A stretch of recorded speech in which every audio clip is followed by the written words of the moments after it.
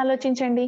మనం ఎంత అద్భుతమైనటువంటి ఎంత అద్భుతమైన ఎంతో అందరికీ కూడా అవసరమైనటువంటి రంగాన్ని ఎంచుకున్నాము.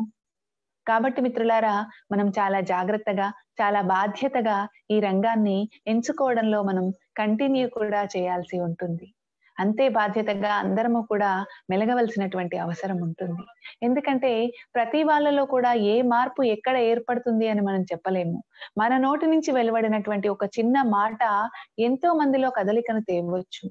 అలాగే ఎంతో మందిలో వారు కోరుకునేటువంటి మార్గాన్ని చూపించవచ్చు. కాబట్టి చాలా బాధ్యతగా మెలగవలసినటువంటి అద్భుతమైన రంగం అండి ఇది. సో మీరందరూ ఉపన్యాస కళ అంటే ఇష్టపడే వచ్చారు కదా? ముందుగా ఏ పనినైనా కూడా మనం ఇష్టపడే చెయ్యాలి. ఇష్టపడి చేసినటువంటి పనిలో మనకు కష్టం అనిపించదు కదా? So I hope you all are interested to learn speak కదా? సో మై డియర్ ఫ్రెండ్స్ మరి మన యొక్క ఉపన్యాసాన్ని ముందు ముఖ్యంగా మనందరం సరే పబ్లిక్ స్పీకింగ్ అనేది మనం నేర్చుకున్నాం. ఇప్పుడు మనం ఫస్ట్ స్పీచ్ని మనం మాట్లాడబోతున్నాం. మనం ఎలా మాట్లాడాలి? ఏం చేయాలి దానికి నేను మీకు చిన్న చిన్న అంశాలని నేర్పిస్తాను చెప్తాను ఇక్కడ. ఒకసారి సార్ నేను స్క్రీన్ షేర్ చేయొచ్చా సార్?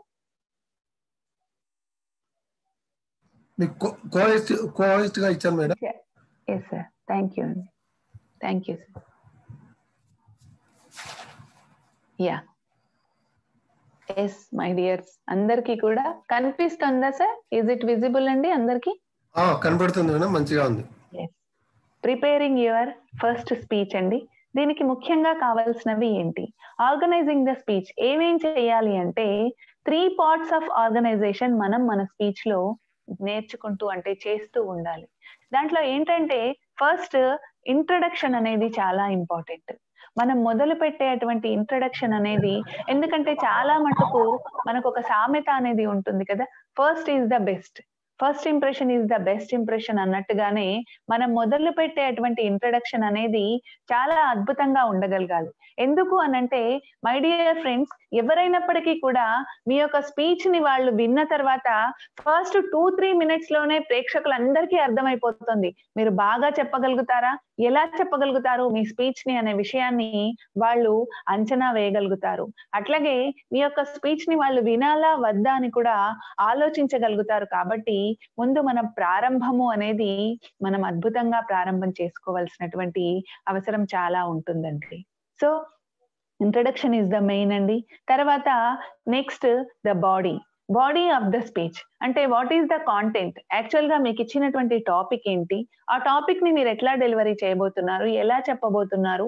అనే అటువంటి దాన్ని ప్లస్ ఆ టాపిక్లో మీరు కవర్ చేసేటువంటి అంశాలు ఏంటి అనే విషయాల్ని మీరు చక్కగా దాన్ని ప్రిపేర్ చేసుకొని దాని ద్వారా చెప్పగలగాలి. నెక్స్ట్ కన్క్లూషన్ అండి. మీరు ఇచ్చేటువంటి కన్క్లూషన్ అనేది ఎలా ఉండాలి అనంటే ప్రేక్షకులకు మనం ఇచ్చేటువంటిది ఒక మంచి మెసేజ్ లాగా మాత్రమే కాకుండా వాళ్ళ నుంచి ఒక చక్కటి అనుభూతిని పొందే విధంగా ఉండాలి. అంటే మనం ఇచ్చే కన్క్లూషన్ని బట్టి ఉంటుంది. చాలా మంది స్పీచ్ ఏం చేస్తారు అంటే ఇంట్రొడక్షన్ అద్రిపోయే విధంగా చెప్తారు. తర్వాత బాడీ కూడా కంటెంట్ కూడా ఎక్సలెంట్గా చెప్తారు. కన్క్లూషన్ విషయం వచ్చేసరికి హడావిడి పడిపోతారు మర్చిపోతారు. వాళ్ళు ఏం చెప్పాలి అన్న విషయాలు వాళ్ళకి గుర్తుండకుండా కన్క్లూషన్ సరిగ్గా చెయ్యకుండానే వెళ్ళిపోతారు. కానీ అది కూడా very very important my dear friends and next వచ్చేసి ఇంట్రడక్షన్ అనేది చూడండి ఒకసారి. Get the attention and interest of the audience మనం ఫస్ట్ ఏంటంటే ఆడియన్స్ మన వైపు మన వైపు అట్రాక్ట్ అయ్యే విధంగా మనం ఇంట్రడక్షన్ ఇవ్వాలి అని మనం అనుకున్నాం కదా. First impression is the best impression అని అనుకున్నాం కదా. సో దానికి మనం ఏం చేయాలి అని అంటే వాళ్ళ అటెన్షన్ని మన వైపు తీసుకెళ్ళాలి. వాళ్ళలో ఒక ఆసక్తిని మనం మన స్పీచ్ ద్వారా రేకెత్తగించగలగాలి. అలాంటప్పుడు మనం ఏం చేయాలి? Pose a question tell a story make a startling statement begin with a quotation so మీరందరూ కూడా ఫస్ట్ స్టార్టింగ్ మనం ఏం చేయాలి? అవునండి ఈ రోజు నేను వచ్చానండి ఈ రోజు మీకు ఫస్ట్ స్పీచ్ ఎలా తయారు చేసుకోవాలో చెప్తున్నానండి. ఇట్లా అని మాట్లాడకుండా మనం ఏంటంటే ఒక క్వశ్చన్ వేయాలి. ఏం నేర్చుకోవాలనుకుంటున్నారు? లేదంటే ఒక చిన్నగా ఒక స్టోరీ చెప్పాలి. నేను మీకు ఫస్ట్ డే అని అట్లా చెప్పడం జరిగింది బట్ యాక్చువల్గా మీరు నేర్చుకోవడంలో మీరు ఏం చేయాలి? ఒక స్టోరీ చెప్పాలి. లేదు అనంటే ఒక స్టేట్మెంట్ ఇచ్చి ఇది దేనికి సంబంధించింది అని చెప్పాలి. లేదు అనంటే ఒక చక్కటి కొటేషన్ని తీసుకొని ఆ కొటేషన్ ద్వారా మీరు చెప్పగలగాలి. సో మీ టాపిక్ అనేది అలా మీరు రివీల్ చేసుకోగలగాలి. అలా మీరు టాపిక్ని రివీల్ చేసుకోగలిగితే ప్రేక్షకులందరూ కూడా చాలా ఆసక్తిగా ఆ టాపిక్ని వింటారు. అంతే ఆసక్తిగా వాళ్ళు ముందు ముందు మీ స్పీచ్ని వినటానికి కూడా వాళ్ళలో ఇప్పుడు మీరు ఒక కొటేషన్ చెప్పారనుకోండి వాళ్ళలో ఆలోచన అనేది రేకెత్తింపజేస్తారు. వాళ్ళు ఆలోచింపగలుగుతారు అన్నట్టు ఏం చెప్తున్నారు ఏమనబోతున్నారు. ఫర్ ఎగ్జాంపుల్ మనం ఏదైనా రాజకీయ ఉపన్యాసానికి వెళ్ళామనుకోండి అక్కడ మనం ఏం చెప్పాలి అంటే చక్కగా ఒక స్లోగన్ని తీసుకొని కూడా మనం చెప్పొచ్చు. అకార్డింగ్ టు ద కాంటెక్స్ట్ సందర్భానికి తగిన విధంగా దానికి తగినట్టుగా మనం ఒక స్పీచ్ ప్రిపరేషన్ అనేది ఉండాలి my dear friends next body. Introduction అయిపోయింది కదండి. ఇంట్రడక్షన్లో మనం క్వశ్చన్ వేస్తాము స్టోరీ చెప్తాము లేదంటే పోయం చెప్తాము లేదంటే వాళ్ళకి తగ్గట్టుగా ఒక సామెత చెప్తాము ఒక స్లోగన్ చెప్తాము అనుకున్నాం. Next the body. ఫస్ట్ బాడీలో కూడా మనం ఒక టాపిక్ ప్రిపేర్ చేసుకున్నప్పుడు ముందుగా ఏం చెప్పాలి? ముందుగా ఏం చెప్పాలి? జనరల్గా ఆ టాపిక్ యొక్క నిర్వచనం అనేది చెప్పాలి. ఆ టాపిక్ యొక్క నిర్వచనం చెప్పిన తర్వాత next order the information. Follow a certain sequences. Chronological spatial casual next problem solution topical మీద ఏ టాపిక్ అయినప్పటికీ కూడా దాన్ని మనం ఏం చేయాలి? ముందుగా ఏం చెప్పాలి? తర్వాత ఏం చెప్పాలి? తర్వాత ఏం చెప్పాలి అని ఒకదాని వెనక మీరు ఒకటిగా రాసుకోవాలి. ఆ ఇన్ఫర్మేషన్ని మీరు నోట్ చేసుకోవాలి. సార్ ఏదో సౌండ్ వస్తుందండి ప్లీజ్ మ్యూట్ చేసుకోగలరు? Next single out your main points దాని తర్వాత మొత్తంగా మనం అంతా రాసుకున్నామండి ఒక నాలుగైదు పేజీలు అయిపోయింది. అబ్బా ఇంత ఘనం స్పీచా మనం చెప్తామా? అని అనుకుంటున్నాం. అప్పుడు మనం ఏం చేయాలి? మన focus each point and one idea. ఒక ఐడియా తోటి మనం ప్రతి ఒక్క పాయింట్లో ఏ పాయింట్ అనేది మనకు చాలా అవసరంగా ఉంది ఏ పాయింట్ని మనం తీసుకోగలగాలి అంటే ఆ టాపిక్కి రిలేటెడ్గా ఏది ఉంది అనే విషయాన్ని తీసుకొని దాని ప్రకారంగా ముఖ్యమైనటువంటి ప్రాధాన్యత కలిగినటువంటి యొక్క ఇంపార్టెంట్ పాయింట్స్ని ఫోకస్ చేసి వాటిని మనం తీసుకోగలగాలి. Limit the number of points depending on the time ఇది కూడా చాలా ఇంపార్టెంట్ అండి. మనకి ఇచ్చినటువంటి సమయాన్ని చూసుకొని ఆ సమయానికి తగిన విధంగా మనం మన పాయింట్స్ని నోట్ చేసుకొని మనం ఆ పాయింట్స్ని డెలివరీ చేయగలగాలి. Next use transitions. Transitions help the listeners follow you. Yes అండి. మనం ఎందుకు అని అంటే చాలా మంది కూడా ఫస్ట్ ముఖ్యంగా మీరందరూ తెలుసుకోవాల్సింది ఏంటంటే మనం బెస్ట్ స్పీకర్ కావాలంటే ద బెస్ట్ లిజనర్ అయి ఉండాలి. అట్లాగే మనలో చాలా రకాలైనటువంటి లిజనింగ్ స్కిల్స్ ఉండడం ద్వారా కూడా మనం మంచి స్పీచ్ని తయారు చేసుకోగలుగుతాము మంచి స్పీకర్గా అవ్వగలుగుతాము. నెక్స్ట్ థర్డ్ వన్ వచ్చేసి వాయిస్ అండి. ఎస్ మీ వాయిస్ పట్ల మీకు ఒక చక్కటి కమాండింగ్ అనేది ఉండగలగాలి. వాయిస్ పట్ల కమాండింగ్ లేదంటే ఏమవుతుంది? వాయిస్ పట్ల కమాండింగ్ అనేది ఉన్నప్పుడు మనం ఏది చెప్పినా కూడా ప్రేక్షకులు అటో ఇటు వాళ్ళ మనసులో అటు ఇటు వెళ్ళినప్పటికీ కూడా వాళ్ళని మనం కంట్రోల్ చేసుకొని తెచ్చుకొని చెప్పగలుగుతాము. యూజ్ యువర్ వాయిస్ ఎక్స్ప్రెసివ్లీ ఇప్పుడు సపోజ్ మనం ఏదైనా ఒక హాస్యానికి సంబంధించిన విషయాలు మాట్లాడినప్పుడు చక్కగా నవ్వుతూ హాహాహా అవునండి. మన ముఖంలో కానీ నవ్వు తర్వాత మన మొహ మన వాయిస్లో కానీ ఆ నవ్వు అనేది వినిపించాలి. అలా కాకుండా ఒక బాధాకరమైనటువంటి ఏదైనా ఒక ఇన్సిడెంట్ని మనం ఒక స్టోరీలో చెప్తున్నప్పుడు వాళ్ళు చాలా బాధపడ్డారండి. చూడగానే ఇబ్బందిగా అనిపించిందండి. ఇట్లా మన వాయిస్ అనేది వాయిస్ మాడ్యులేట్ చేసుకుంటూ మన ఎక్స్ప్రెషన్స్తో సహా మన వాయిస్ని చెప్పాల్సి ఉంటుంది. And the two points now I'm going to say are very very important అండి. Speak loudly so as to reach the back of the room మనం చాలా గట్టిగా మాట్లాడాలి. ఎప్పుడు అంటే రూమ్ ఎండింగ్ దాకా కూడా అంటే మన ఆడియన్స్ ప్రకారం ఎక్కువ మంది ఆడియన్స్ ఉన్నారు. చివరకంట వాళ్ళు కూర్చొని ఉన్నారు అనుకోండి. అలాంటి సమయంలో ఏంటంటే మనం మన యొక్క వాయిస్ని గట్టిగా లౌడ్లీగా మనం మాట్లాడుతూ ఉండాలి. అలా కాకుండా కొంతే మంది ఆడియన్స్ ఉన్నారు. చాలా చిన్న సభ మీటింగ్ అక్కడ ఉంది. అలాంటి సమయంలో speak slowly do not race through your speech తక్కువగా మాట్లాడాలి. మరొక విషయం ఏంటంటే ఏదైతే ఇప్పుడు పాజిటివ్ అంశాలు ఉన్నాయి మీరు ఇలాంటివి ఫాలో అవుతే బాగుంటుందండి అనే విషయాలు చెప్పినప్పుడు మనం మన వాయిస్ని రేజ్ చేయవచ్చు. అలాగే లేదండి ఇలాంటివి చాలా నేను చూస్తున్నాను. మన దేశంలో అవినీతి అనేది పెరిగిపోతుంది అని ఇట్లాంటి విషయాలు మనం మాట్లాడినప్పుడు మన వాయిస్ని కాస్త తగ్గించి మాట్లాడితే అంటే దాంట్లో ఉన్నటువంటి ఆ డెప్త్ అనేది ప్రేక్షకులు చక్కగా రిసీవ్ చేసుకోగలుగుతారు. సో అది కూడా మనం ట్రై చేయాలి. అండ్ ద నెక్స్ట్ వన్ వచ్చేసి మనం బాడీ లాంగ్వేజ్ అనేది మీకు ఒక సెషన్ ఉంటుందండి. దాంట్లో తప్పకుండా మీరు నేర్చుకుంటారు గెషర్స్ ఏంటి అనేవి. సో దాంట్లో భాగంగానే ఇప్పుడు గెషర్స్ని మనం చూస్తాము. Feel free to use your hands to gesture but don't plan your gestures ahead of time move naturally చాలా మంది ఏంటంటే ముందుగా ఏం చేస్తారు? ఒక ఏంటంటే ఒక స్టేజ్ అనేది ఉంటుంది కదా ఆ స్టేజ్ని చూసి అంచనా వేసుకుంటారు. నేను ఫస్ట్ ఇక్కడ మాట్లాడాలి తర్వాత మధ్యలో వచ్చి మాట్లాడాలి తర్వాత ఇటు మాట్లాడాలి. అట్లా మనం ప్లాన్ చేసుకోకుండా ప్రేక్షకులను మనం చూస్తూ ఉంటాం కదా అకార్డింగ్ టు ద ప్రేక్షకులు వాళ్ళ ఆడియన్స్ని చూసి ఆడియన్స్ దాన్ని పట్టి మనం ఎటు సైడ్ మాట్లాడితే బాగుంటుంది మనం ఎట్లా తిరిగితే బాగుంటుంది అనేది న్యాచురల్గా మాట్లాడే సమయంలోనే అనుకోకుండా అన్ఎక్స్పెక్టెడ్గా మనం మైక్ని పట్టుకొని తిరుగుతూ ఉంటాం మూవ్ అవుతూ ఉంటాం హ్యాండ్స్ ఫ్రీగా వదిలేస్తూ ఉంటాం. సో అలా మనం న్యాచురల్గా మూవ్ అయ్యే దాన్ని మనం ఎంచుకోవాలి కానీ ఆర్టిఫిషియల్గా ముందే ప్లేన్ ప్లాన్ చేసుకొని నేను ఈ సామెత చెప్పినప్పుడు ఇక్కడ నిలబడతాను నేను ఈ క్వశ్చన్ అడిగినప్పుడు ఇక్కడ నిలబడతాను that is the wrong way అండి. Next avoid nervous mannerisms such as twisting your hair, uh, wringing your hands, and shifting your weight from one foot to other, rocking back and forth, tapping your fingers on the table. ఇది చాలా మట్టుకు అందరిలో మనం mannerisms చూస్తూ ఉంటాం different people are having different mannerisms చాలా మంది జుట్టు ఇట్లా ఇట్లా ఇట్లా అంటూ ఉంటారు అదేదో ఆడపిల్లలైతే రింగులు రింగులుగా తిప్పేస్తూ ఉంటారు. లేదు అని అంటే మగపిల్లలైతే వెనకాల చేతులు పెట్టేసి చక్కగా ఇట్లా ఇట్లా సర్దుకోవడం జుట్టు సర్దుకోవడం అలాంటివి చేయకూడదు. తర్వాత మన ఇటు అటు అన్ అన్ఎక్స్పెక్టెడ్గా అంటే అనవసరంగా అక్కడ అవసరం లేనప్పుడు కూడా మూవ్ అవ్వడం బాడీని షేక్ చేయటం ఓకేనా నెక్స్ట్ మనం టేబుల్ అలాంటిది అక్కడ ఏమైనా ఉంటే tapping fingers on the table అక్కడ ఫింగర్స్ని కొడుతూ ఉంటారు. కదా? ర్యాకింగ్ బ్యాక్ అండ్ ఫోర్త్ మీరు ఇటు అటు ఏంటంటే ఎక్కడ నిల్చొని మాట్లాడతారో చూసుకొని కరెక్ట్ పోస్చర్ పెట్టుకొని కరెక్ట్గా కాన్ఫిడెంట్గా మీరు మాట్లాడగలగాలి. అంతేకాని అటు ఇటు మూవ్ అవడము తిరగడము లేకపోతే అదే పనిగా ఆ ఏమంటారు?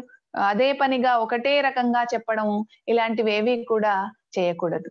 Next try to appear calm and relaxed మనం ఎలా కనిపించాలంటే చాలా కామ్గా చాలా ఎట్లా అంటే కామ్ అండ్ రిలాక్స్డ్ అంటే ఇక్కడ నేను ఒక మాట చెప్తాను. Your looks should be dignify dignified looks ఉండే విధంగా మీరు చూసుకోవాలి. మీరు చాలా డిగ్నిఫైడ్గా ఉండాలి అక్కడ. అలా డిగ్నిఫైడ్గా ఉన్నప్పుడు వాళ్ళెవ్వరూ కూడా మిమ్మల్ని మళ్ళీ ఏం తప్పు పట్టే అవకాశాలు ఉండవండి. సో మరొక ముఖ్య విషయం ఏంటంటే దాంట్లో మీ యొక్క కాన్ఫిడెన్స్ లెవెల్స్ అన్నవి తగ్గిపోకూడదు. అలా కనిపించాలి. కాన్ఫిడెన్స్ కూడా చక్కగా కనిపించాలి. నెక్స్ట్ డెవలపింగ్ ద స్పీచ్ దీంట్లో focus your speech do not try to cover everything in one speech ఏమండి? నాకు ఒక టాపిక్ ఇచ్చారండి. పబ్లిక్ స్పీకింగ్ గురించి మాట్లాడమని అనేసి నేను వచ్చేసి అన్ని అంశాలు అరే పబ్లిక్ స్పీకింగ్లో ఫస్ట్ స్పీచ్ ఎలా చేసుకోవాలని చెప్పారు కాబట్టి మీరు బాడీ లాంగ్వేజ్ ఇట్లా ఉండాలండి అనేసి దాని గురించో అర్ధగంట కాంటెంట్ ప్రిపరేషన్ గురించో అర్ధగంట స్టేజ్ ఫియర్ లేకుండా మాట్లాడడం గురించో అర్ధగంట ఆ తర్వాత మనం హ్యూమన్ రిలేషన్షిప్స్ గురించో అర్ధగంట ఇలా రకరకాలైనటువంటివి అన్ని కలిపేసి అన్ని కలిపి ఒకటే స్పీచ్లో ఒకటే దెబ్బ అన్నట్టుగా మనం వేయకూడదు. Observe the time limit compulsory మనకి ఇచ్చినటువంటి సమయం ఎంత? మనం ఉపయోగించుకుంటున్నటువంటి సమయం ఎంత అనే విషయాన్ని చూసుకొని సమయానికి తగ్గట్టుగా మనం మన స్పీచ్ని డెవలప్ చేసుకోవాలి డెలివరీ చేసుకోవాలి. Do not narrow the topic too much ఎక్కువగా దాన్ని పెంచకూడదు. అనవసరమైన విషయాల్ని మనం తీసుకురాకూడదు. Next develop your topic think of creative ways to capture your audience attention ఒకవేళ చాలా మంది చిన్నపిల్లలు ఉన్నారనుకోండి చక్కగా మిమిక్రీ చేస్తూనో లేకపోతే ఏదో ఒక సౌండ్స్ చేస్తూనో ఒక జంతువుల అరుపులు చేస్తూనో అట్లాంటి చిన్న చిన్న కథలు ఎంచుకొని మనం చెప్పినట్టయితే పిల్లలు ఆడియన్స్ అటెన్షన్ అన్నది మనం చక్కగా గ్రాస్ప్ చేసుకోగలుగుతాము. అలాగే పెద్దవాళ్ళు అంటే ఎక్కువగా ఒక సిక్స్టీ ఎబో ఉన్న వాళ్ళకి మనం సెషన్ తీసుకున్నట్టయితే ఆధ్యాత్మిక పరమైనటువంటి అంశాలు ఒక దేవుడి పాట పాడడమో లేకపోతే దైవభక్తి గురించి మాట్లాడడమో ఇప్పుడు కార్తీక మాసం కదండి. సో ఇలా సందర్భోచితంగా తీసుకొని కార్తీక మాసంలో శివకేశవులకు ఇష్టమైన మాసం అని చెప్పడమో ఏదో ఒకటి ఇట్లా మనం వాళ్ళ అటెన్షన్ని మనం గ్రాస్ప్ చేస్తూ ఉంటే విధంగా క్రియేటివ్ వేస్ మనం చూస్ చేసుకోవాలి. లేదంటే వాళ్ళలోనే ఎవరైనా మీకు ఎవరంటే ఇష్టం అండి మీకు ఎలా అంటే ఇష్టం అండి అలా అక్కడిదక్కడ మనం అడుగుతూ క్వశ్చన్ చేస్తూ సామెతలు చెప్తూ మనం వాళ్ళ అటెన్షన్ని గ్రాస్ప్ చేసుకోవచ్చు. Give vivid examples to prove your point మనం చెప్పేటువంటి అంశము అనేది కరెక్ట్గా ఉండాలి అని అంటే దాన్ని మనం ఆ, ఒక రెండు మూడు అంటే ఇప్పుడు నేను ఒక మాట చెప్పా నోరు మంచిదైతే ఊరు మంచిదైతుంది అనే ఒక స్టేట్మెంట్ నేను ఇచ్చినట్టయితే దానికి తగినట్టుగా నేను ఒక రెండు మూడు అంశాలని ఆ చూడండి ఇట్లా మంచిగా కలివిడిగా ఉంటే అందరితో పాటు కలిసి ఉంటే ఆ అందరూ కూడా మెచ్చుకుంటారండి అందరూ కూడా బాగుంటారండి అందరూ మనతో కలిసిపోయి ఉంటారండి. ఇలాంటి విషయాలని మామూలుగా నేను చెప్పడానికి నేను చెప్పినటువంటి పాయింట్ రైట్ పాయింట్ అనే విషయాన్ని తెలియజేసే విధంగా నా స్పీచ్లో నేను ప్రూవ్ చేయగలగాలి. Next overcoming the stage fear అండి. గెయిన్ స్పీకింగ్ ఎక్స్పీరియన్స్ ముఖ్యంగా మనం ఎక్కువగా స్టేజ్ ఫియర్ ఎలా పోతుంది అంటే ఎక్కువగా మాట్లాడాలి. Yes you have to speak ఎవరి మంది ముందు మాట్లాడినా ఎవరి ముందు మాట్లాడినా నువ్వు నువ్వు మాట్లాడినా కూడా మీరందరూ కూడా ఆ స్పీకింగ్ ఎక్స్పీరియన్స్ అన్నది గెయిన్ చేయగలగాలి. రోజు ఒక పది నిమిషాలు పావు గంట అర్ధ గంట మీకు సమయం దొరికినప్పుడల్లా మాట్లాడుతూనే ఉండండి.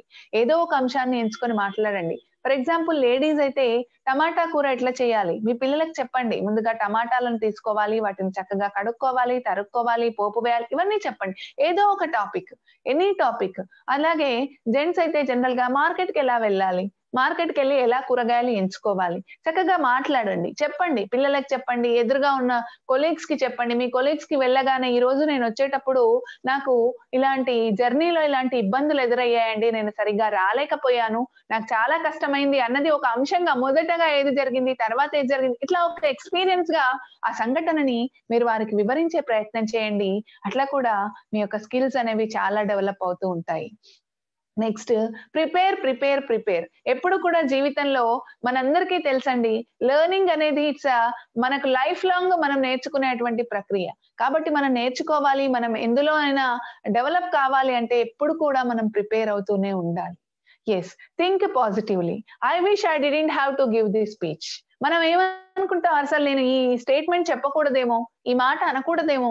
No that's not the way the speech is a chance for me to share my ideas and to gain experience as a speaker ఈ వచ్చినటువంటి అవకాశం ఏంటంటే నాకు వచ్చినటువంటి అవకాశం అనేది చాలా మంచి అవకాశం వచ్చింది. నా ఆలోచనలు ఇతరులతో పంచుకోవడానికి అలాగే వారి నుంచి వచ్చిన ఫీడ్బ్యాక్తో నేను ఒక అనుభవాన్ని నేను నేను గెయిన్ చేయటానికి నేను అనుభవాన్ని పొందటానికి నాకు ఒక స్పీకర్గా అనుభవాన్ని పొందటానికి నాకు వచ్చిన మంచి మంచి అవకాశం అని ఆలోచించి అలాగే మనం పాజిటివ్గా థింక్ చేస్తూ ఉండాలి. Use the power of visualisation చాలా మటుకు ఇందాక నేను మీకు చెప్పాను మీరు మీ ఎక్స్పీరియన్సెస్ అనేవి మీరు వాళ్ళతో షేర్ చేసుకోండి వాళ్ళతో చెప్పండి అని నేను చెప్పడం జరిగింది. అలా చెప్పేటువంటి క్రమంలో మీరు ఏంటంటే ఒకసారి కళ్ళు మూసుకొని జరిగిన సంఘటన అంతా కూడా గుర్తుకు తెచ్చుకోండి.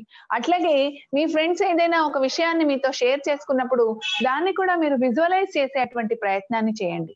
తర్వాత మీరు ఒక స్పీచ్ చెప్పడానికి వెళ్ళినటువంటి క్రమంలో ఆ స్పీచ్ నేను ఎలా చెప్పబోతున్నాను?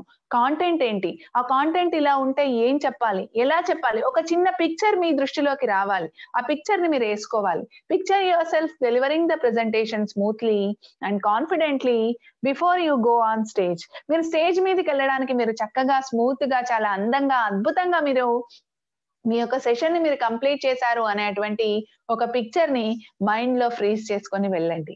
Know that most nervousness is not visible చాలా మందిలో నర్వస్నెస్ అనేది ఉంటుంది. ఉండదు అనుకోవడం చాలా తప్పు కానీ కనిపించదు. ఎందుకు అనంటే వాళ్ళు నర్వస్నెస్ని ఓవర్కమ్ చేసేసి కాన్ఫిడెన్స్ని వాళ్ళు చూపిస్తూ ఉంటారు. డోంట్ ఎక్స్పెక్ట్ పర్ఫెక్షన్ ప్రపంచంలో ఎవ్వరు కూడా అండి ఎవ్వరు కూడా పర్ఫెక్ట్గా ఉండలేరు. ప్రతి వాళ్ళలో ఎక్కడో ఏదో ఒక లోపం అనేది జరుగుతూనే ఉంటుంది. చూస్తూనే ఉంటాం. కానీ నేను పర్ఫెక్ట్గా ఉండాలి నేను పర్ఫెక్ట్గా ఉండాలి అనుకుంటే nobody can perfect in the world so మీరు అట్లాంటి అస్సలు కూడా మీరు ఊహించొద్దు నేను పర్ఫెక్ట్గా చేయగలగాలి అని. Just you skip about the perfection నాకు ఏది వచ్చో నేను అది చేస్తున్నాను. నాకు ఏది తెలుసో నేను అది చెప్తున్నాను. నాకు ఏది వచ్చో నేను అది మాట్లాడుతున్నాను. దానికోసం నా స్కిల్స్ని డెవలప్ చేసుకోవడానికి నేను ఇంకొక రెండు మూడు అంశాలని నేర్చుకొని నేను చెప్తున్నాను అనుకోవాలి కానీ పర్ఫెక్షన్గా ఉండాలి అనేటువంటి విషయాల్ని మనం తీసుకోకూడదు. ఎస్ మై డియర్ ఫ్రెండ్స్ ఇప్పుడు మెయిన్ ఏంటంటే ఐ కాంటాక్ట్ అండి. కంపల్సరీగా మీరు ఏంటంటే మీ ముందున్నటువంటి ప్రేక్షకులతో ఐ కాంటాక్ట్ అనేది తప్పకుండా మీరు ఏర్పరచుకోవాల్సినటువంటి అవసరం ఉంటుంది. ఐ కాంటాక్ట్ అంటే మీరు వెళ్ళి మీ కళ్ళను వాళ్ళ కళ్ళల్లో పెట్టి చూడడం కాదు. But while you are delivering your speech మీరు చెప్పేటువంటి క్రమంలో ఆ సమయంలో మీరు ఏం చేయాలి అని అంటే మీ స్పీచ్ చెప్పేటువంటి సమయంలో మీరు వాళ్ళతో కళ్ళు కలుపుతూ మామూలుగా మీరు నవ్వినప్పుడు వాళ్ళు నవ్వుతూ వాళ్ళ యొక్క ఎమోషన్స్ని మీరు తీసుకుంటూ వాళ్ళ యొక్క రెస్పాన్సెస్ని మీరు తీసుకుంటూ మీరు చెప్పినట్టయితే గనక మీ స్పీచ్ అద్భుతంగా ఉంటుంది మిత్రులారా. Look at the audience as an as you can మీరు ఆడియన్స్ని చాలా మంది ఏంటంటే చూడండి స్టేజ్ మీదకి వెళ్ళినప్పుడు చిన్నప్పుడు టీచర్స్ చెప్తూ ఉంటారు. అంటే టీచర్స్ని తప్పు పట్టడం కాదు టీచర్స్ చెప్తూ ఉంటారు. మేడం నాకు సిగ్గు మేడం నేను పాట పాడలేను నేను స్పీచ్ చెప్పలేనంటే ఏం లేదు నువ్వు వెళ్ళు ఎవరిని చూడకు అసలు ఎవరిని పట్టించుకోకు. నువ్వేదో మీదికి చూసి గడగడ గడగడ గడగడ నువ్వు నేర్చుకున్నది చెప్పేసేయి. దట్ ఈస్ ద రాంగ్ అండి. మీరు పబ్లిక్ స్పీకింగ్లో ఉన్నారు మీరు ఒక పబ్లిక్ స్పీకర్గా మీరు మీ యొక్క దాన్ని మొదలు పెడుతున్నారు చేస్తున్నారు కాబట్టి మీరు ఖచ్చితంగా ఐ కాంటాక్ట్ అందరినీ కూడా చూడాలి. అక్కడున్న ఆడియన్స్ ఫస్ట్ రో నుంచి లాస్ట్ రో వరకు కూర్చున్నటువంటి ఆడియన్స్ అందరినీ కూడా చూడాలి. ఎవరైనా మీకు కనిపించినటువంటి క్రమంలో మీరు ఏం చేయాలి? ఏమండి కాస్త ఇలా జరగండి. ఏమండి మీ పేరేంటండి అని అడిగి కాస్త ఇలా జరగండి నీలిమ గారు కాస్త ఇలా జరగండి అండి నాకు మీరు కనిపించటం లేదండి అనేసి మీరు వాళ్ళని చూడాలి. Be sure to look to the left and right as well as to the centre. అట్లాగే రైట్ సైడ్ చూస్తుండాలి లెఫ్ట్ సైడ్ చూస్తుండాలి అప్పుడప్పుడు మధ్యలో కూడా చూస్తూ ఉండాలి. అంటే దీని అర్థం ఏంటంటే మీరు సభ అంతా కూడా కలియ తిరిగి చూస్తూ ఉండాలి. Avoid the temptation to speak exclusively to one or two sympathetic individuals మీరు ఏంటంటే ఒకరు ఇద్దరు మీకు రెస్పాన్స్ అవ్వగానే వాళ్ళ పట్ల అట్రాక్ట్ అయి చెప్తూ ఉంటాం జనరల్గా. అట్లా అని కాకుండా అందరినీ ఉద్దేశించి అందరినీ లేపుతూ అందరి రెస్పాన్స్ మనం గెయిన్ చేసేటువంటి ప్రయత్నాన్ని మనం చేయాలి. If you are too nervous to look your classmates ఇక్కడ క్లాస్మేట్స్ అని ఇవ్వడం జరిగింది but it is the audience in the eye look to the side of each person or just above his or her head ఒకవేళ కళ్ళలోకి చూడడానికి ఇబ్బందిగా అనిపించినట్టయితే అంటే కొంతమంది కళ్ళలోకి చూస్తున్నప్పుడు నవ్వడమో ఇట్లాంటివి చేస్తే మీకు ఏదైనా డిస్టర్బెన్స్గా అనిపిస్తే అట్లీస్ట్ వాళ్ళ సైడ్ వాళ్ళ తలలో చూడడమో వాళ్ళ పక్క చూడడమో అలాంటిది మీరు ఖచ్చితంగా చూడవలసి ఉంటుంది. Yes now delivering the speech okay అండి మనం చక్కగా అన్ని తయారు చేసుకున్నాము. మనం మన స్పీచ్కి తగ్గట్టు విధంగానే మనం ఏంటంటే చెప్పదలుచుకున్న విషయాన్ని సూటిగా చెప్పేలాగా తయారు చేసుకున్నాము. తర్వాత ఫస్ట్ ఇంప్రెషన్ బెస్ట్ అని మనం మంచి ఇంట్రడక్షన్ని రెడీ చేసుకున్నాము. ఇంట్రెస్ట్ కలిగించే విధంగా చేసుకున్నాము. ఒక కొటేషన్ని నేర్చుకున్నాము. ఒక స్లోగన్ని చెప్పేశాము. కథ తర్వాత పద్యము తర్వాత సామెత ప్రశ్న నిర్వచనము ఇలాంటివన్నీ మనం రెడీ చేసుకున్నాం. ఇప్పుడు మనం ఎట్లా చెప్పాలి? Delivering how we are delivering the speech ఇవన్నీ చేసుకొని యుద్ధానికి వెళ్ళే ముందు అన్ని ఆయుధాలను మనం సర్దిన సన్నద్ధం చేసుకొని కత్తి పెట్టుకున్నాము బాణం పెట్టుకున్నాము డాల్ పెట్టుకున్నాము ఎవరైనా దాడి చేస్తే ఎలా అని ఒక మంచి కోట్ వేసుకుని అన్ని చేసుకొని అక్కడ వెళ్ళి యుద్ధం చేయకుండా ఇలా నిలబడి చూస్తే ఎలా ఉంటుంది చెప్పండి? సో అవన్నీ కంటెంట్ ప్రిపరేషన్ కానీ మేక్ ఓవర్ అంతా కూడా స్పీచ్ మేక్ ఓవర్ అంతా కూడా ఒక సైడ్ అయితే డెలివరింగ్ ద స్పీచ్ అనేది వెరీ వెరీ ఇంపార్టెంట్ అండి. ఇది చాలా చాలా చాలా అవసరమైనటువంటిది. స్పీక్ ఎక్స్టెంపరర్లీ మీరు ఎట్లా మాట్లాడాలి అంటే extempore extemporaneous speech is a carefully prepared and rehearsed speech that is presented from a brief set of notes మీకు ఒక చిన్న క్యూ కార్డ్ అనేది తయారు చేసుకొని దాని మీద చిన్న చిన్న ఇంపార్టెంట్ పాయింట్స్ రాసుకోమని మీకు చెప్తారు సార్ వాళ్ళు. సో అట్లా మీరు ఏంటంటే ఒక చిన్నగా మీరు అసలు ఏం చెప్పబోతున్నారు అనే దానిపైన జనరల్గా మీకు అవేర్నెస్ నాలెడ్జ్ అనేది ఉండాలి. ఆపకుండా ఆగకుండా మీరు మాట్లాడగలగాలి అంటే ఎప్పటికప్పుడు మీరు అప్డేట్ కూడా అవుతూ ఉండాలి. అట్లా అప్డేట్ అయినప్పుడు మీ ఫ్లో అన్నది ఆగిపోకుండా వస్తుంది. మీరు అట్లా ఆగిపోనటువంటి ఫ్లోలో మీరు మీ స్పీచ్ని డెలివరీ చేస్తూ వెళ్ళిపోతూ ఉండాలి. Next rehearse the speech looking silently over your notes is not enough మీరు రిహార్స్ చేసుకునేటప్పుడు ఓన్లీ మీ నోట్స్లో తలపెట్టి మీ నోట్స్లో చూడటం అన్నది సరిపోదు. మీ యొక్క స్పీచ్ని మీరు చెప్పేటప్పుడు ఆ క్యూ కార్డ్ అనేది ఎందుకు అనంటే ఏదైనా పాయింట్ ఇంపార్టెంట్ పాయింట్ మనం చెప్పదలుచుకున్న విషయాన్ని మర్చిపోయామే అనుకోండి. సో అట్లాంటి ఆ సమయంలో ఉపయోగపడే విధంగా అది ఉంటుంది. సో మీరు స్పీచ్ని డెలివరీ చేసేటప్పుడు మరొక ముఖ్యమైన విషయం ఇక్కడ నేను రాయటం మర్చిపోయాను. మరొక ముఖ్యమైన విషయం ఏంటంటే while delivering your speech compulsory you have to be confident కాన్ఫిడెంట్గా ఉండాలి. మీరు స్పీచ్ డెలివరీ చేసేటప్పుడు కాన్ఫిడెంట్గా చెప్పగలగాలి. ఓకే అండి? Next and the last but not the least this comes to the conclusion మీరు కన్క్లూషన్కి వచ్చేటప్పటికి ఏం చేయాలి అని అంటే మీరు ఇచ్చేటువంటి కన్క్లూషన్ అన్నది మనం ఒక స్పీచ్ అనేది తయారు చేసుకున్నాము ముందుగా చక్కగా ఒక పద్యంతో మొదలు పెట్టాము ఒక పాటతో ప్రారంభించాము దాని తర్వాత నెమ్మది నెమ్మదిగా టాపిక్లోకి తీసుకొచ్చాము. నేను ఇందాకే చెప్పాను ఎండింగ్ కన్క్లూషన్ అన్నది ఫెయిలవంగా వదిలేసాం అనుకోండి ఆ స్పీచ్ వాళ్ళకి గుర్తుంటుందా? అస్సలు గుర్తుండదు. ఎందుకు అసలు గుర్తుండదు అనంటే మనం ఇచ్చే కన్క్లూషన్ అనేది వాళ్ళకి ఒక చక్కగా ఒక సందేశాన్ని అనేది ఇవ్వగలగాలి. కాబట్టి మనం ఏం చేయాలి? మన ప్రత్యేకత అన్నది నిలుపుకోవాలి అనంటే మనం ఏం చేయాలి? మన యొక్క ముగింపు అన్నది ప్రభావవంతంగా ఉండేలాగా చూసుకోవాలి. ఫర్ ఎగ్జాంపుల్ మనం దురలవాట్ల గురించి మాట్లాడుతున్నాం అనుకోండి. ఆ సమయంలో మనం ఏం చేయాలి అంటే దురలవాట్లు అనేవి మీ యొక్క కుటుంబానికి ఎంత నష్టాన్ని కలిగిస్తాయి? మీ యొక్క ఆ భవిష్యత్తుకి ఎంత నష్టాన్ని కలిగిస్తాయి? వాటి వల్ల మీరు కోల్పోతున్నది ఏంటి అంటే ఆర్థికంగా నష్టపోయారా? ఆ సామాజికంగా నష్టపోయారా?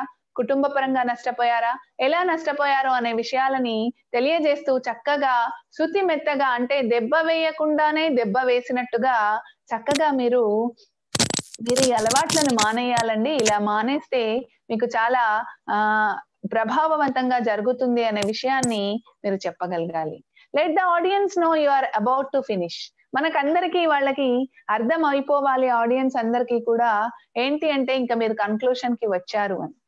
సో మనం కన్క్లూషన్ చెప్పే సమయంలో ఒకసారి మొత్తంగా మన స్పీచ్ అంతా కూడా ఒక్కసారి రీకాల్ చేసుకోగలగాలి. దాన్ని మళ్ళీ మనం చెప్పగలగాలి. అంటే దాని అంతా కూడా ఒకసారి చిన్న చిన్న చిన్న చిన్న క్యూ కార్డ్ అనేది ఉంది కదా చిన్న చిన్న పాయింట్ వైజ్గా ఒకసారి మళ్ళీ దాన్ని సమ్మరైజ్ చేస్తూ సింక్రనైజ్ చేస్తూ చెప్పగలగాలి. Reinforce your central idea if possible end అనే dramatic clever or thought provoking note మనం చిన్నగా చివరిగా మనకు ఒక సామెత ఉంది కదండి. ఆ లాస్ట్ లాస్ట్ పంచ్ మనదైతే ఆ కిక్కే వేరప్ప అంటారు. విన్నారా ఎప్పుడైనా చూసారా? సో ఆ లాస్ట్ పంచ్ అనేది మనం ఇచ్చినట్టయితే ఆ లాస్ట్ పంచ్ ఎలా ఉండాలి అని అంటే ఒక మంచి చక్కటి డ్రొమాటిక్ మేనర్లో కానీ ఒక అంటే వాళ్ళు మర్చిపోని విధంగా మనం చక్కగా లాస్ట్ పంచ్ అనేది ఇవ్వగలగాలి మిత్రులారా? Yes sir so this is the screen sharing అండి. Yeah now I have stopped sir yes అండి. సో ఇలా మనం తయారు చేసుకునేటువంటి ఫస్ట్ స్పీచ్ని చాలా అద్భుతంగా మనం ఇవన్నీ పాయింట్స్ ద్వారా మనం కవర్ చేసుకోవచ్చు. ముఖ్యంగా చెప్పాలి అని అంటే భక్తలకు ఉండవలసినటువంటి ఒక టెన్ కమాండ్మెంట్స్ని మనం నేర్చుకున్నటువంటి కమాండ్మెంట్స్ని చెప్తాను. మరొకటి ఇక్కడ మీరు చెయ్యకూడనటువంటి విషయాలను కూడా నేను మీకు చెప్తానండి. చాలా మంది ఏం చెప్తారు? ప్రసంగాన్ని మొదలుపెట్టేటప్పుడు మీరేమని అంటారంటే ఆ చాలా సమయం అయిపోతుందండి కాలాతీతం అయిపోతుంది. సో అందువల్ల నేను ఏదో రెండు విషయాలు మాట్లాడాలి అనుకున్నా నా రెండు విషయాలు చెప్తా. అలా అస్సలు ప్రారంభించకూడదు. ఏమండి అక్కడ ముందుకు వచ్చినటువంటి ప్రేక్షకులకు కాలాతీతం అయిపోయినాక ఇంకా మీరెందుకు మాట్లాడడం అనే భావన మనం కలిగించినట్టే అవుతుంది కదా. సో అలాంటి విషయాల్ని మీరు అసలు చెప్పకూడదు. తర్వాత ఆ మళ్ళీ ఇంకొకటి ఏం చెప్తామంటే ఇప్పటికే నా ముందు మాట్లాడిన వాళ్ళు చాలా విషయాలు కవర్ చేశారు. నేను ఇంకా ఏం చెప్పగలను? నేను ఇంకా ఏం మాట్లాడగలను? నేనేం చెప్పాలి? నేనే అనే అటువంటి దాంతో కూడా ప్రారంభిస్తూ చెప్తూ ఉంటారు. మై డియర్ ఫ్రెండ్స్ అది కూడా చాలా రాంగ్ అండి. ఎందుకు అంటే ప్రేక్షకులకు ఏమనిపిస్తుంది? అంతా వాళ్ళు చెప్పాక ఇంకా నువ్వేం చెప్పేది ఉంది? అనేటువంటి భావనకు ప్రేక్షకులు వస్తారు. కాబట్టి సహజత్వానికి దగ్గరగా మీకు మీతో కొన్ని పాయింట్స్ షేర్ చేసుకుంటాను అంటూ వాళ్ళలో ఇంకా ఇంట్రెస్ట్ని రగిలించే విధంగా మనం చెప్పేటువంటి ప్రయత్నాన్ని చేయాలి. అంతేకాని మనం ఆ ఒక నెగటివిటీ వచ్చే విధంగా మన స్పీచ్ని మనం అస్సలు చెప్పకూడదండి. తర్వాత ముఖ్యంగా ప్రసంగాన్ని క్షమాపణలతో మనం ప్రారంభించకూడదు.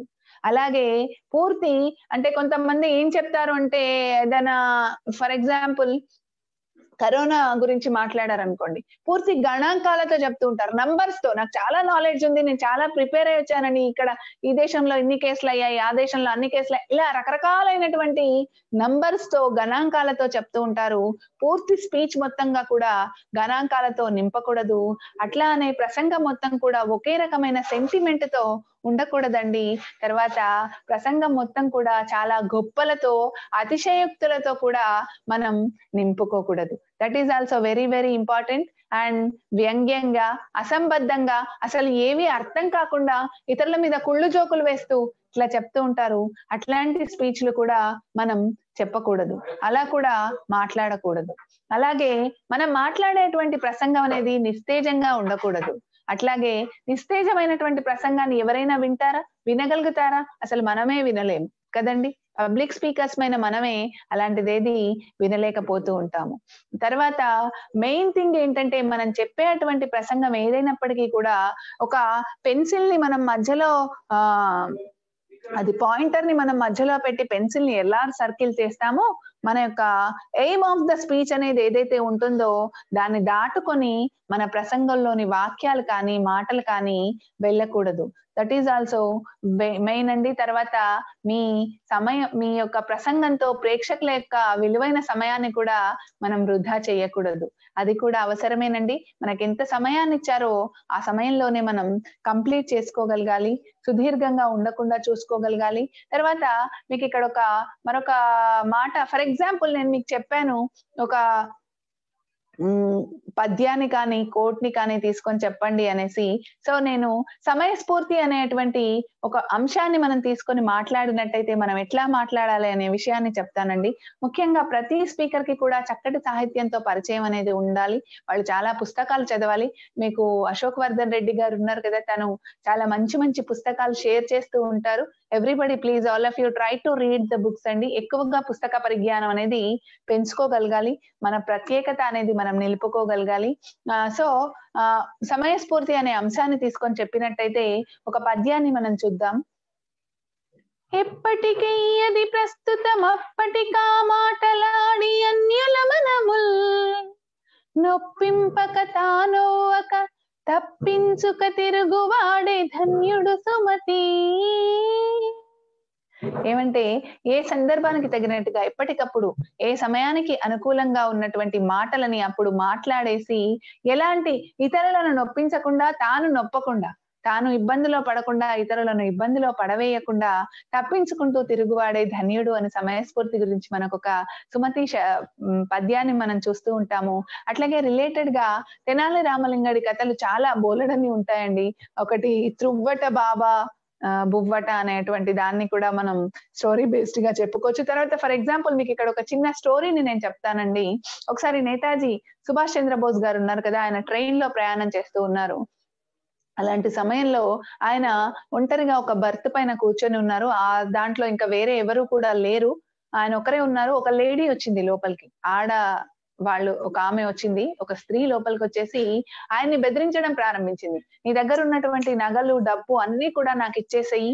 అన్ని కూడా జరిగినటువంటి సంఘటన అండి. అన్ని కూడా నాకు ఇచ్చేసేయి. అవన్నీ తీసుకొని నేను వెళ్ళిపోతాను. ఎవరికైనా చెప్పావే అనుకో ఎవరికైనా పిలిచావే అనుకో నువ్వు నన్ను అల్లరి చేస్తున్నావు అని చెప్పేసి నేను గోల చేస్తాను నేను గొడవ చేస్తాను నేను అరిచి నానా యాగి చేస్తాను అంటూ బెదిరిస్తూ ఉంటుందన్నమాట.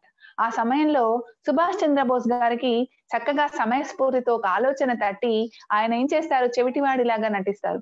నాకేమి వినిపించటం లేదు. ఏం చెప్తున్నారు? ఏం కావాలి? అని అడుగుతూ ఉంటారు. అప్పుడు ఆవిడకి ఏమీ అర్థం కాకపోతే పేపర్ పైన రాసి చూపెట్టమని చెప్తారు. రాసి చూపెట్టండి అని ఒక పేపర్ పెన్ ఇస్తే ఆవిడ ఆ హడావిడిలో చక్కగా అంతా రాసి ఇచ్చేస్తుంది. ఇవ్వగానే దాన్ని తీసుకొని సుభాష్ చంద్రబోస్ గారు నవ్వి ఇప్పుడు ఎవరిని పిలుస్తావో పిలువు? వాళ్ళకి నేను ఇది చూపిస్తాను అంటారు. అంటే రుజువుతో సహా నువ్వు దొరికిపోయావు నాకు అని చెప్తారు.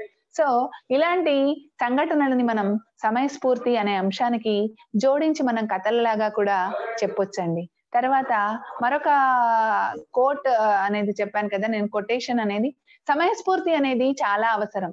ఎప్పుడైనా ఎక్కడైనా సరే సమయస్ఫూర్తితో ధైర్యంగా మాట్లాడడం అనేది చాలా అవసరం. ఆ ధైర్యం అనేది లేకపోతే ఒక్కొక్కసారి మనం మన ప్రాణాలను కూడా పోగొట్టుకోవాల్సి వస్తుంది. సమయస్ఫూర్తి ఉన్నవాడే సమయాన్ని పూర్తిగా వాడుకోగలుగుతాడు. ఎస్ మై డియర్ ఫ్రెండ్స్ తర్వాత ఎంచుకునే టాపిక్ కానీ ఎవరి ముందు మాట్లాడుతున్నాము ఆడియన్స్ కానీ ఇవన్నీ దృష్టిలో పెట్టుకొని మీరు సందర్భానికి తగినట్టుగా చక్కగా మీ యొక్క మొదటి ప్రసంగాన్ని మీరు తయారు చేసుకొని అద్భుతమైనటువంటి ప్రసంగాలలో ఇవ్వడంలో ఆరితేరే విధంగా తయారు కావాల్సిందిగా నేను కోరుకుంటున్నానండి. Okay sir this is from my side అండి. Thank you thank you madam చాలా అద్భుతమైన సెషన్ తీసుకున్నారు. సారీ మేడం మేడం పరిచయం చేసింది నేను మర్చిపోయాను. సుమనా చైతన్య మేడం గారు నాతో పాటు ట్రైన్ టు ట్రైన్ ప్రోగ్రామ్ మొన్న జరిగిన దాంట్లో మేము పార్టిసిపేట్ చేశాము. మేడం మంచిర్యాలలో ఉంటారు తను టీచరు. శకుంతల గ్రూప్ మెంటర్గా వర్క్ చేస్తూ ఇంపాక్ట్లో పబ్లిక్ స్పీకింగ్ వర్క్ చేస్తున్నారు. మేడం సారీ మేడం మిమ్మల్ని పరిచయం చేసేది పర్లేదు పర్లేదు సార్ నో ప్రాబ్లం. చాలా అద్భుతంగా సాగింది. అందరూ చాలా సైలెంట్గా విన్నారు మీ ప్రజెంటేషన్ అద్భుతంగా సాగింది. మీకు ఏమైనా సందేహాలు ఉంటే హ్యాండ్ రైజ్ చేయండి. ముందే నేను చెప్పకముందే హ్యాండ్ రైజ్ చేసేస్తున్నారు. సార్ ఒక చిన్న రిక్వెస్ట్ ఏంటంటే sir please all of you subscribe my YouTube channel అండి. మీకు ఇంకా దానిలో చాలా కథలు చాలా పద్యాలు అన్ని దొరుకుతాయి. సుమన్న చైతన్య యూట్యూబ్ ఛానల్ అందరూ సబ్స్క్రైబ్ చేసుకోగలరు. థ్యాంక్ యూ మేడం సార్ గ్రూప్లో గ్రూప్లో లింక్ పెట్టండి పోస్ట్ చేస్తాను. టాగూర్ మీకు పర్సనల్ యా పర్సనల్గా పెట్టండి. రెండు గ్రూపుల్లో పోస్ట్ చేస్తాము. దయచేసి అండి మీరు మీకు రోజు చెప్తూనే ఉన్నాం. ఫీడ్బ్యాక్స్ ఇవ్వమని రాత్రి కూడా చెప్తే ఆరుగురే ఫీడ్బ్యాక్స్ ఇచ్చారు.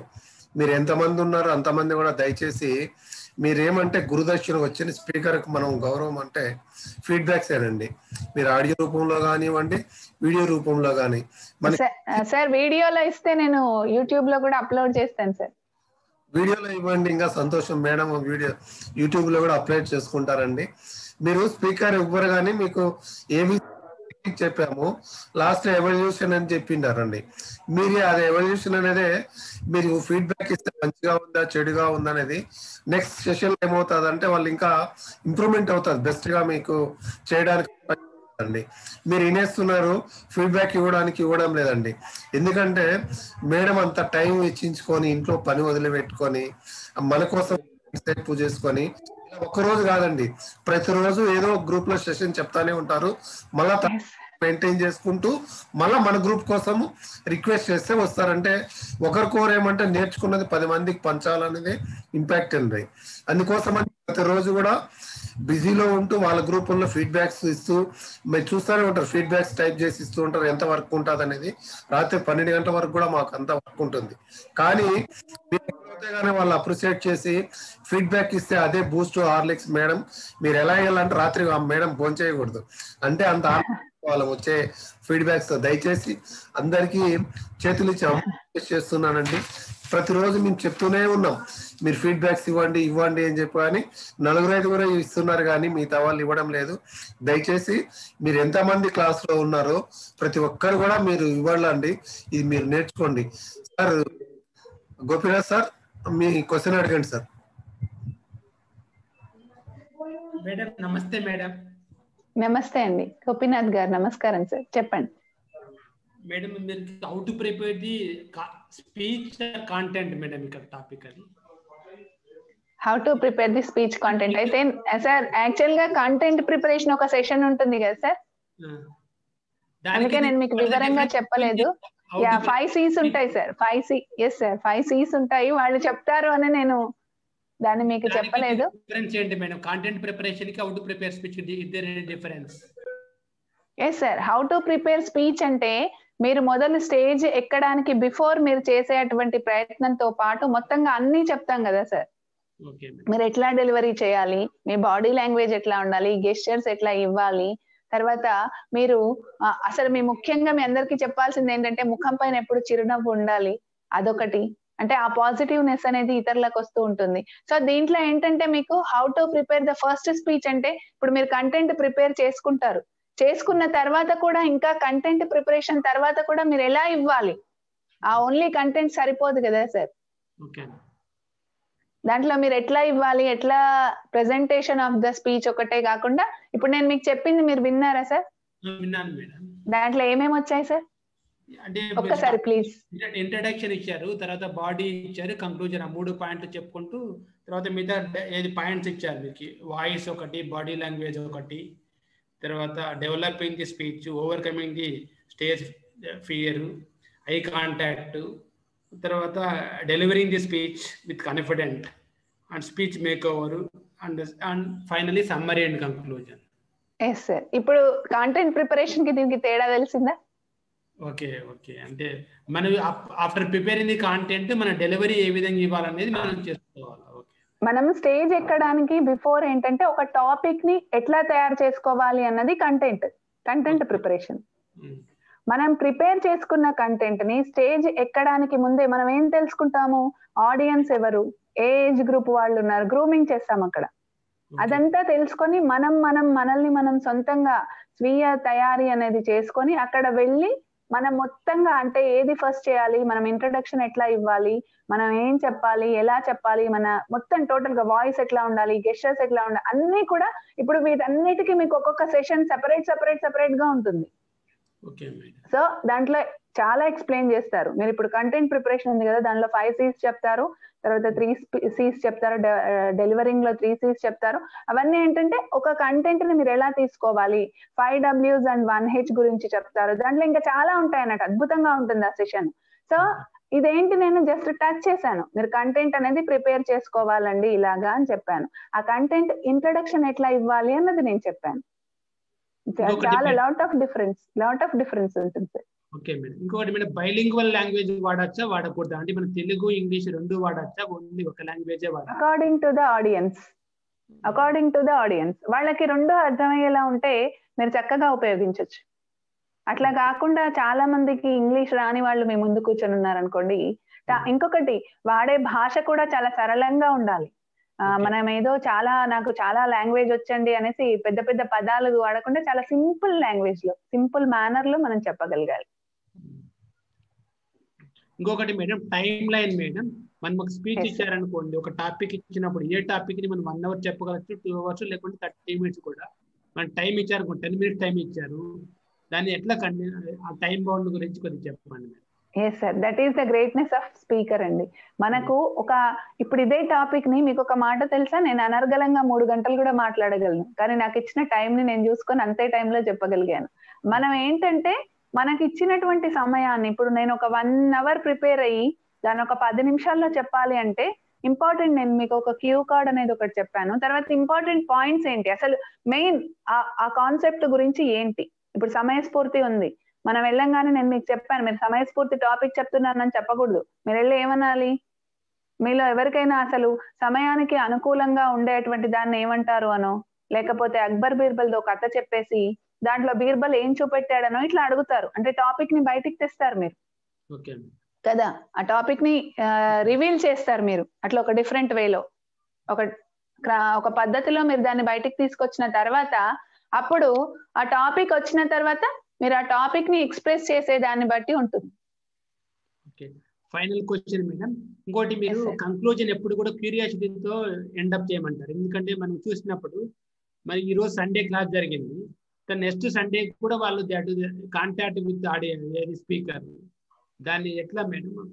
అంటే ఎప్పుడు కూడా క్యూరియాసిటీతోనే అంటే ఎండప్ టాపిక్ని ఎండప్ చేయకుండా ఆడియన్స్కి క్యూరియాసిటీ వదిలేస్తే వాళ్ళు wait no no no no. End చేయడం కాదు సార్. ఆడియన్స్కి అర్థమైపోవాలి మీరు కన్క్లూజన్కి వచ్చారు అనేసి.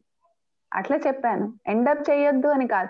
ఎండ్ చేయాలి కానీ ఎట్లా చేయాలి అంటే చాలా మంది అంటే చాలా స్పీకర్స్లో కూడా ఏంటంటే జనరల్ స్పీకర్స్ అనే కదా ఎవరైనా కూడా ఇప్పుడు మీరు ఒక మాట మీరు ముందు మొదలు పెట్టినటువంటి ఒక అంశాన్ని చాలా ఉత్సాహంగా మొదలు పెడతారు. అదే ఎండింగ్ వచ్చేటప్పటికి ఏమవుతుంది? చెప్పడం చెప్పడం అలసిపోవడమో ఇంకా ఏదో ఇతరత్ర చాలా కారణాలు కావచ్చు. దాంట్లో ఏవో రకరకాల కారణాలు ఉండొచ్చు. కానీ మనం ఒక పబ్లిక్ స్పీకింగ్గా మనం ఒక పీపుల్ని అడ్రస్ చేసేటప్పుడు ఆడియన్స్ని అడ్రస్ చేసేటప్పుడు ఒక విషయాన్ని తీసుకొని చెప్తే నేను మీకు దురలవాట్లేదు చెప్పాను. దాంట్లో ఏంటంటే వాళ్ళని ఆలోచింపు చేసే విధంగా మనం ఆ కన్క్లూషన్ అన్నది ఉంచాలి. మనం ఎట్లా చెప్పాలి అంటే కన్క్లూజన్ని వాళ్ళకి అనిపించాలి. నిజంగా ఇదంతా విన్నాం కదా. విన్న తర్వాత నిజంగానే కదా మనం ఈ అలవాట్లన్నీ మానేయాలి కదా. అట్లా ఉండకూడదు కదా. అనేటువంటి విషయాన్ని వాళ్ళు నేర్చుకోగలగాలి. అట్లా కన్క్లూషన్ అన్నది చాలా బెస్ట్గా ఉండే విధంగా మీరు చూసుకోగలగాలి. చాలా ప్రభావవంతంగా ఉండాలి. ఎఫెక్టివ్ ఎస్ ఎఫెక్టివ్ మెథడ్లో ఉండాలండి. Yeah thank you sir thank you thank you madam thank you very much no problem sir doubts అడగొచ్చు. అడగడానికే కదా. కోలార్ కృష్ణ నైస్ కృష్ణ గారండి మీరు అన్మైట్ చేసుకొని మాట్లాడండి సార్ మీ క్వశ్చన్ ఏంటో. ఆ, madam good evening madam yeah happy evening sir yeah, madam మీరు ఈరోజు చెప్పిన సబ్జెక్ట్లో మన ఇంట్రొడక్షన్ బాడీ కంక్లూజన్ ఎలాబరేట్గా చెప్పారు మేడం ఈ కంక్లూజన్ పార్ట్కి వచ్చే లోపల మనము అంటే ఆ- రోజు సబ్ ప్రిపేర్ చేసిన సబ్జెక్టు కంటెంట్స్ ఓన్లీ సినాప్సిస్ మాదిరి చెప్తే సరిపోతుందా? లేదు. కొంచెం అంటే ఇంపార్టెంట్ పాయింట్స్. అన్ని మనం ఇవి డిస్కషన్ చేసుకున్నాం కదండి. ఇలా మాట్లాడుకున్నాం కదండి. అంటే ఒక్కసారి సమ్మరైజ్ చేసినట్టయితే వాళ్ళకి ఇంకా బాగా గుర్తుంటుంది.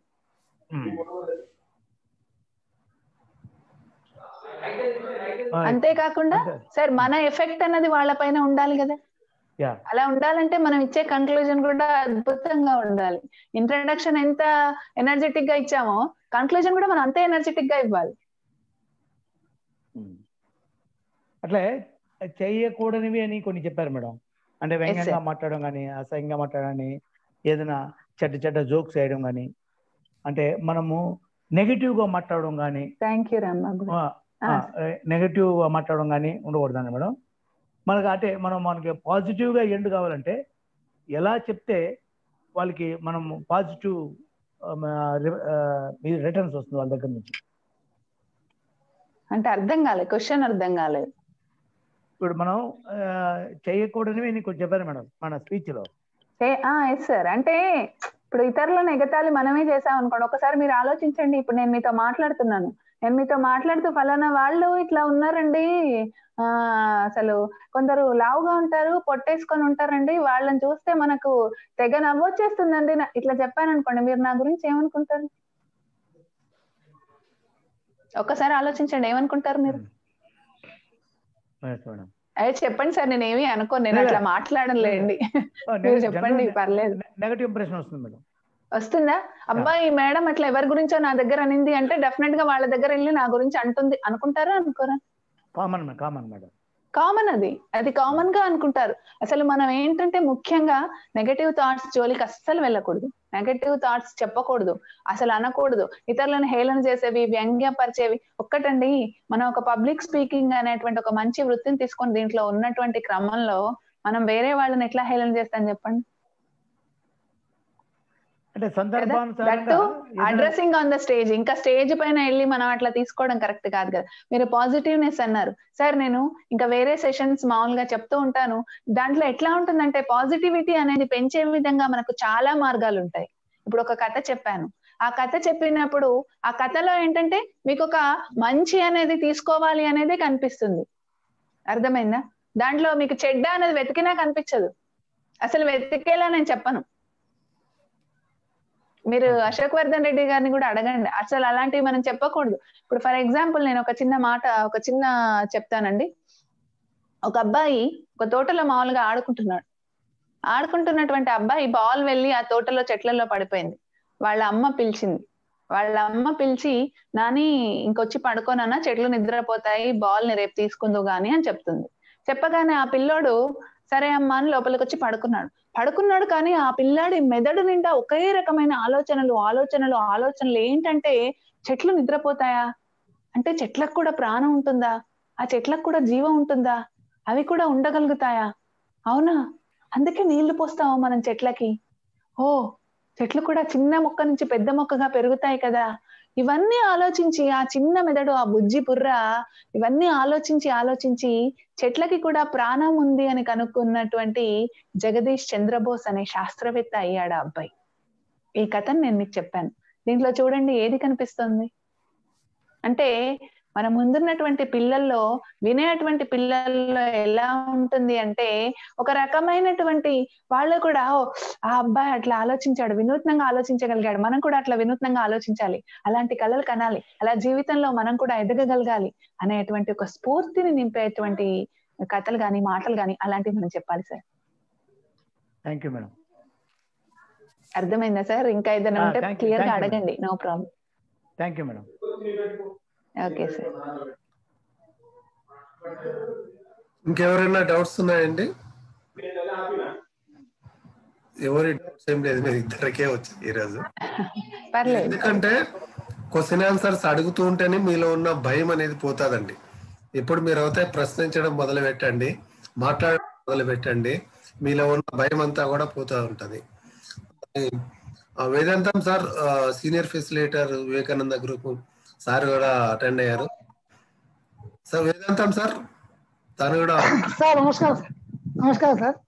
తాను ఒక తెలివిపెండెంట్ గారు మొత్తము కవి అండి. చాలా సార్కు ఈ మధ్యలో చాలా వచ్చాయి అవార్డ్స్ అన్ని కూడా. సార్ మీరు ఏదైనా ఒక పద్యం బాగా చెప్పండి సార్ మా గ్రూప్ వాళ్ళ గురించి. సార్ మీరు మంచిర్యాలే కదా ఉండేది? అవునండి. నాకు తెలుసు సార్ తెలుసు.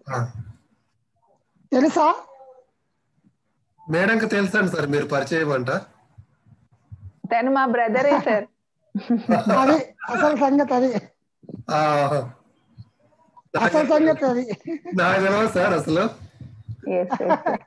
చాలా మందికి తెలీదు బట్ మా అన్నయ్య. అయ్యో థ్యాంక్ యూ మేడం. నాకు తెలియదు ఎప్పుడు సార్ చెప్పనే లేదు మాతో. సార్ ఒక ఏదైనా ఒక పద్యం చెప్పండి సార్ మీకు మా మా ప్రేక్షకుల గురించి. సార్. ఏదైనా పద్యం వదలండి సార్.